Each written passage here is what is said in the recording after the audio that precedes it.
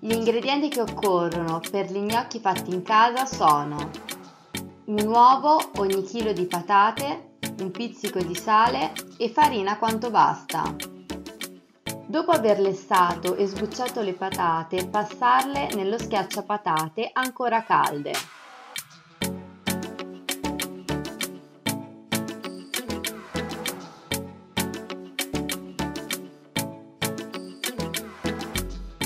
Una volta raffreddate, rompere le uova e aggiungere un pizzico di sale. E la farina poco alla volta.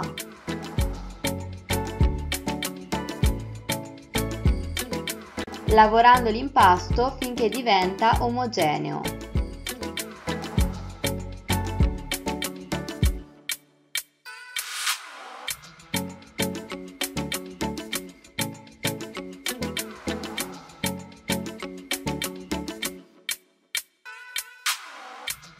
A questo punto realizzare delle strisce con l'impasto e tagliarle a cubetti.